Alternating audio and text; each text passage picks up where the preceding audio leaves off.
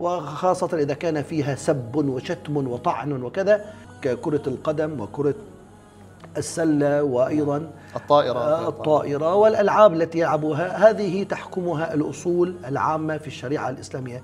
لكن هي في الأصل أما المسابقات المشروعة فهي المسابقات التي وردت في حديث النبي صلى الله عليه وسلم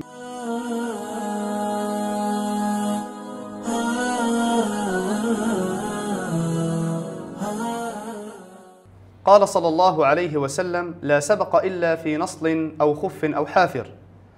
الرياضة وسيلة فعالة لتقوية الجسم وتقويمه فهي بهذا مطلب شرعي لا كما يظن البعض أنها من الأمور التي يجب على المسلم أن يبتعد عنها باعتبارها لهوا تشغل عن العبادة والذكر. ولكن لا بد من مراعاة الضوابط الشرعية فيها فما هي المسابقات الجائزة؟ والمسابقات غير الجائزة. وإذا وضع اللاعبون مبلغا ماليا والفائز يأخذ هذا المبلغ هل يجوز أخذه؟ في هذه الحلقة من برنامج درهم ودينار نتعرف على أحكام المسابقات الرياضية من خلال استضافة ضيف البرنامج الدائم فضيلة الشيخ الدكتور إبراهيم شاشو المتخصص في المعاملات المالية والصيرفة الإسلامية. أهلا وسهلا بكم دكتور. حياكم الله أهلا وسهلا. أحسن الله إليكم. وإليكم. دكتور بداية لو حدثتنا عن المسابقات عموما. ما هو الجائز منها وما هو غير الجائز؟ الحمد لله والصلاة والسلام على رسول الله وعلى آله وصحبه ومن والاه. اللهم أغننا بحلالك عن حرامك وبطاعتك عن معصيتك وبفضلك عمن سواك. المسابقات عموما منها الجائز المشروع ومنها المحرم الممنوع ومنها المباح الذي آه، يباح التسابق فيه. بالنسبة للمسابقات المحرمة هي المسابقات التي آه، يكون فيها إضرار بالبدن وإضرار بالنفس وإضرار بالغير كالمسابقات التي يكون فيها عدوان ويعني ضرب ولكم وأيضا المسابقات التي تكون فيها يكون فيها كشف العورات وكشف ال ال يعني كشف أيضا البدن بطريقة محرمة وأيضا التي يكون فيها يعني مراهنات كبيرة أو مراهنات مالية هذه المسابقات محرمة. أما المسابقات المشروعة فهي المسابقات التي وردت في حديث النبي صلى الله عليه وسلم لا سبق إلا في نصل أو خف أو حافر.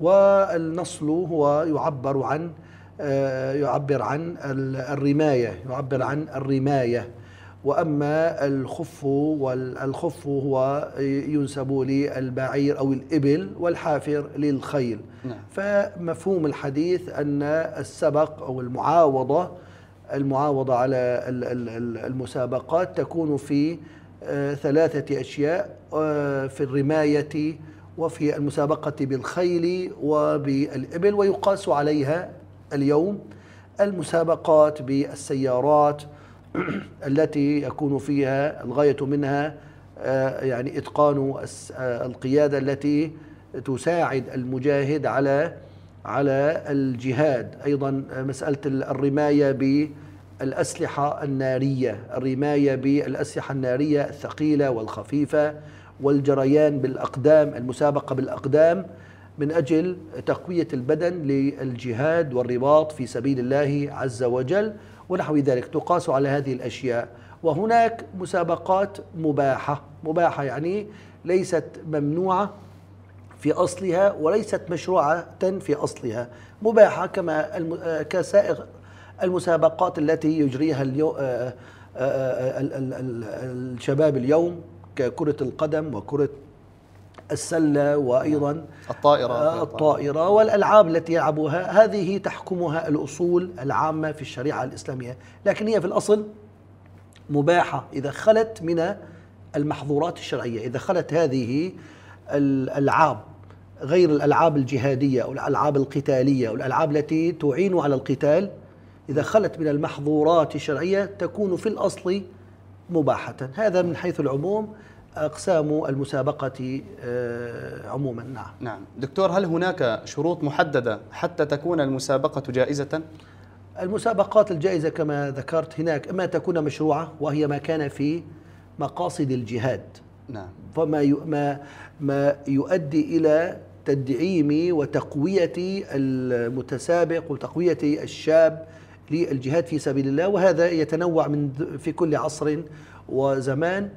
أما المسابقات المباحة التي ذكرت أنها هي في الأصل مباحة كمسابقات الكرة ونحو ذلك فهذه يشترط فيها حتى تكون مباحة أن تخلو أن تخلو من أي قمار أو ميسر أن تخلو من أي قمار أو ميسر نعم. وأيضا أن لا يكون فيها شيء محظور شرعا كما ذكرت ككشف العورات ككشف العورات كشف الفخذ وكشف يعني أيضا ال- يعني آه، مواضع من البدن يكون حراما وأيضا لا يكون هناك فيها ألفاظ ألفاظ نعم. فاحشة وسب وشتم وطعن وعصبية يعني قبلية ومناطقية وبعد كما يعني يعني يشيع وينتشر في مسابقات كرة القدم يعني نعم. التي تفضي في النتيجة إلى الاقتتال والنزعة الطائفية والنزعة العنصرية وهكذا. هذا إذا وجد في أي مسابقة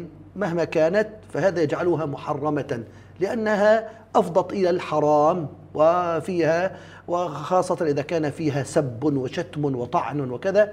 فإذا كانت ال- المسابقة الرياضية آه، خالية من هذه المحظورات محظورات الدينية والمحظورات آه، يعني ال- ال- ال- الأخلاقية التي يعني نهى آه، الشرع عن هذه عنها. فإذا خلت تكون في ب- لا- والشرط الأساسي أن لا تكون هذه المسابقة فيها قمار أو ميسر يدفع فيها يعني آه، يدفع فيها القمار كالمراهنات التي تجري في المباريات كرة القدم العالمية. يعني هناك مراهنات يدفع آه، أشخاص آم، آه، آه، نقود وأموال كي يربح الفريق الفلاني فإذا ربح الفريق الفلاني آه، يعني مبلغ رهان آه، خسر يخسر مبلغ رهان. هذا أيضا من القمار والميسر. نعم. دكتور لو توقفنا عند المسابقات الرياضية أو ما يسمى بالأولمبياد مثلا يقوم عدة فرق بالاشتراك في المسابقة الرياضية أو ما يسمى بالأولمبياد ويضع كل فريق 100 دولار مثلا. ويكون جماع المبلغ ألف دولار. ويقولون الفائز من هذه الفرق يأخذ هذا المبلغ يأخذ ألف دولار. ما حكم هذا في الشرع؟ لو توضح لنا هذه المسألة. هذه الصورة بالذات هي صورة محرمة من المسابقات بسبب أن ما يدفعه كل آه، فريق من الفرق هذا المبلغ آه، يجتمع ويعطى للفائز.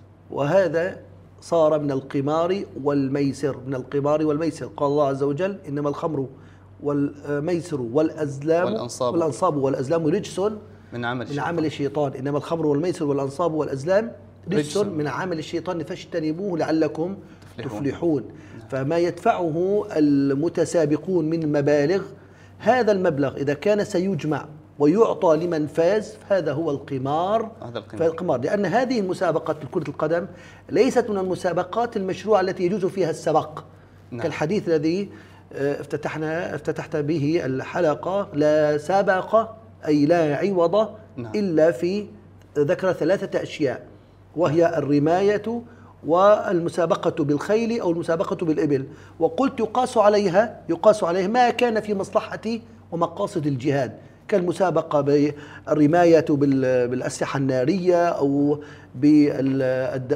يعني ال- السيارات الجهادية كذا. أما كرة القدم كما قلت هذه مسابقات مباحة يشترط فيها أن لا يكون فيها عوض. يعني كل مسابقة رياضية يكون الداخل فيها إما غانما أو غارم. غارما فهي غير جائزة. نعم. أعيد. كل مسابقة رياضية أو غير رياضية ليست من المسابقات التي ذكرت في الحديث.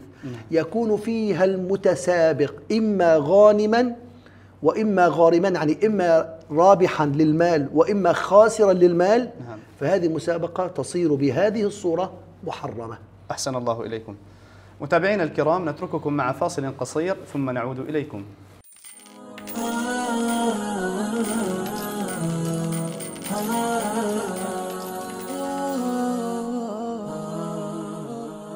بالعودة إليكم متابعينا الكرام مع فضيلة الشيخ الدكتور إبراهيم شاشو نتكلم عن أحكام المسابقات الرياضية في الشريعة الإسلامية.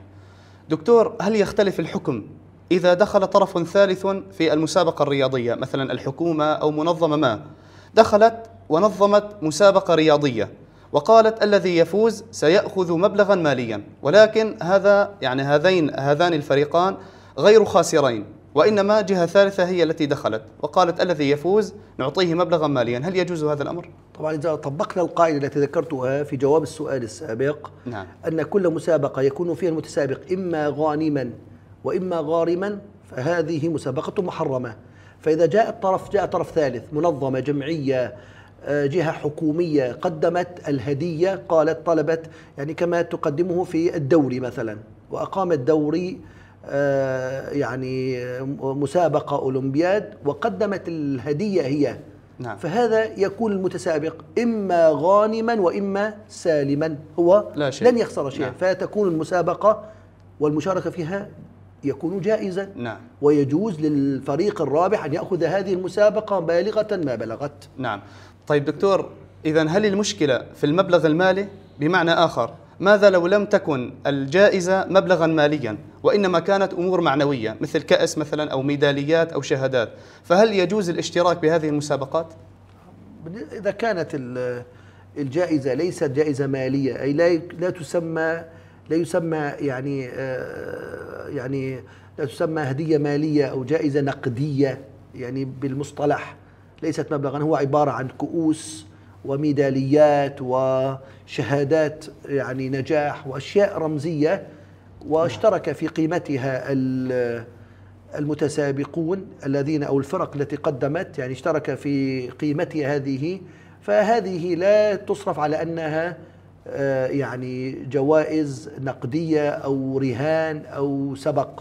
هذه تعد من تكاليف أو آه، نفقات اللعب يعني نعم. خاصة كما ذكرت لم تكن الجائزة نقديه نقدية نعم. لأن الحديث ذكر لا سبقه أي لا عوض. لا نعم. عوض هذا لا يعد عوضا هو لا يعطيه الشيء هذا الرمزي معاوضة له على ما قدمه من لعب إنما هو يكرمه أو, تكريم، أو نعم.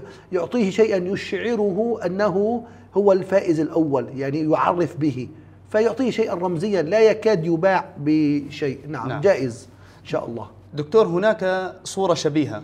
ماذا لو اشترك الفريقان على دفع أجرة الملعب مثلا؟ نعم. مثلا أجرة الملعب وليكن ألف ليرة تركي. فاشترك الفريقان على دفع أجرة هذا الملعب.